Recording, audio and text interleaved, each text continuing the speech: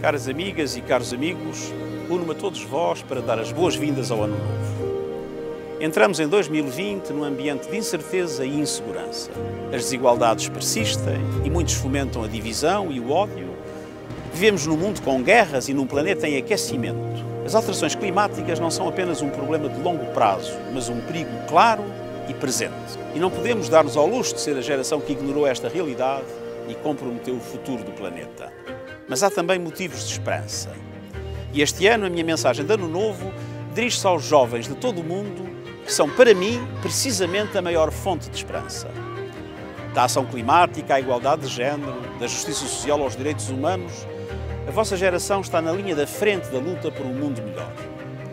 A vossa paixão e determinação são inspiradoras. Eu ouço a vossa voz a exigir justamente um papel na construção do futuro e estou convosco a Organização das Nações Unidas está convosco e pertence-vos.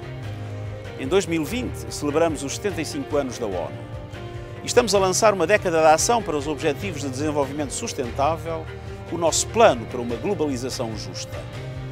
Neste novo ano, o mundo precisa do empenho ativo dos jovens.